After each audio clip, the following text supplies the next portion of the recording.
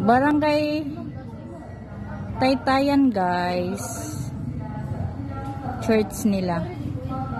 Ah. yan yung church nila sa Barangay Taytayan. Okay? Yung paligid. Welcome Barangay Taytayan guys. Dito mi. guys.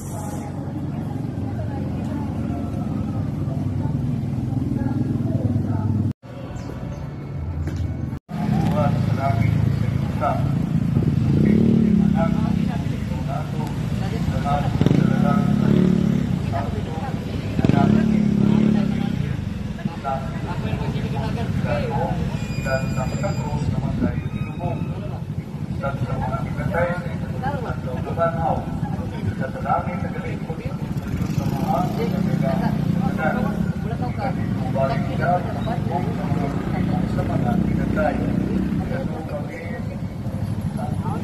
Santos, sa Santos Iglesia Católica, nakakitan sa mga santos, sa pasayloan sa mga sala, pagkabanaw sa lawas o sa kinabuhing dayon.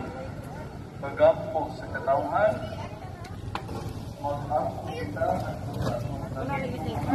sila? Na inuhot sa pagkalito sa may akong ni anak, mo sa sa wapot hindi na nato, hanggang